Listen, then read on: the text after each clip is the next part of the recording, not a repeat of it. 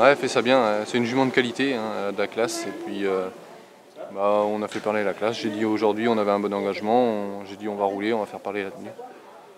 Pas douté euh, par rapport à sa dernière tentative? Oh non, non, la dernière fois c'était très bien. Elle était un petit peu hors distance, 2100 mètres, et puis euh, elle finissait très vite. Bon, elle allait tellement vite qu'elle s'est accrochée à un genou, elle m'a fait la faute, mais j'ai dit en partant de loin, ça devrait aller. La suite de son programme, ça va être évidemment les bons, les semi-classiques ou... Euh, faut que je revérifie, mais il me semble qu'elle a encore une course fermée euh, d'ici un mois, un bon mois. Donc euh, elle recourra ça, et puis après on avisera en fonction de, en fonction de la forme de la jument, et puis euh, si elle continue à progresser. Alors tu as plein de points de comparaison par rapport à tous les bons chevaux que tu as vu entraîner. Celle-là, elle se situe où?